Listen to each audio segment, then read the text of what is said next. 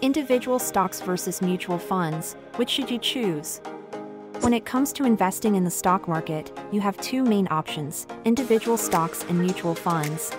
Both offer potential for growth and profit, but they have different features and benefits. In this video, we will explore the differences between individual stocks and mutual funds to help you make an informed investment decision. Individual stocks. Individual stocks represent ownership in a single company. When you invest in individual stocks, you are purchasing shares of a specific company. This allows you to have direct control over your investment decisions. You can choose which stocks to buy or sell based on your own analysis, research, and personal beliefs. Pros of investing in individual stocks. Greater potential for growth. Individual stocks offer the potential for higher returns compared to mutual funds if you pick the right stocks. Flexibility. You have the freedom to invest in different companies across various sectors as per your investment strategy. Control. You can actively manage your portfolio by buying and selling stocks according to market conditions and your own research. Cons of investing in individual stocks. Higher risk. Investing in individual stocks carries more risk than investing in mutual funds due to the potential for one company's performance to negatively impact your entire investment. Time consuming, managing and researching individual stocks requires time and expertise. Regular monitoring of market conditions and company specific news is necessary to make informed decisions. Mutual funds.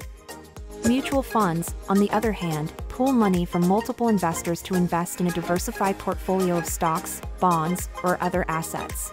Pros of investing in mutual funds.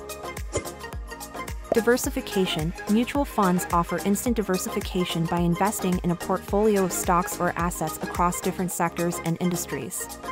Professional management Mutual funds are managed by professional fund managers who research, analyze, and make investment decisions on behalf of the investors.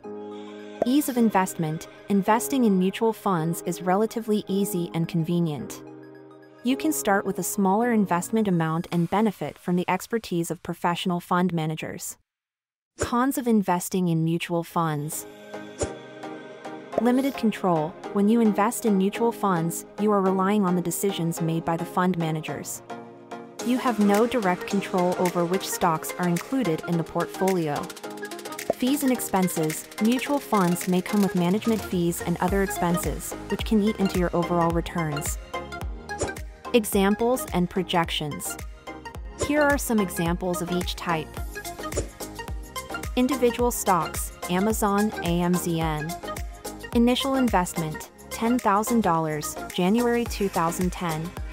Projected returns, by January 2020, it would become $122,000. Note, it is to be noted that Amazon has been extremely volatile over the past decade.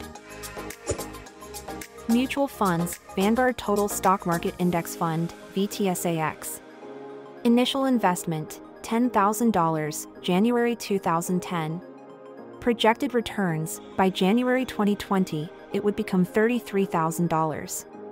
Note, VTSAX provides broad exposure to the entire US stock market, so it is stable and diverse. Which should you choose? If you are comfortable with taking on higher risk and have the time and expertise to research and manage individual stocks, they can offer the potential for higher returns. On the other hand, if you prefer a more hands-off approach, want instant diversification, and benefit from professional management, mutual funds might be the better choice. It's worth noting that many investors choose a combination of both individual stocks and mutual funds to diversify their portfolio and balance risk and reward. Always remember that investing involves risk, and it's important to do your due diligence, understand your investment objectives, and seek professional advice if needed. If you like what you are seeing, please do like, comment and subscribe to our channel Personal Finance Unchained.